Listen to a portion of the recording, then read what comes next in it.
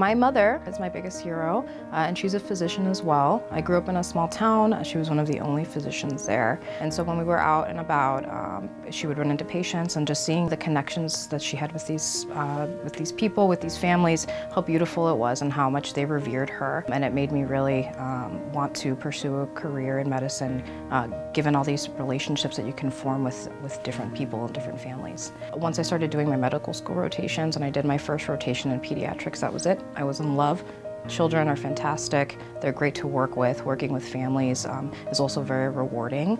helping them make medical decisions and doing it together is something that I really uh, enjoyed. There are several challenges in pediatrics. One, for instance, being that the, the patient can't tell you what's wrong, uh, especially given certain age groups.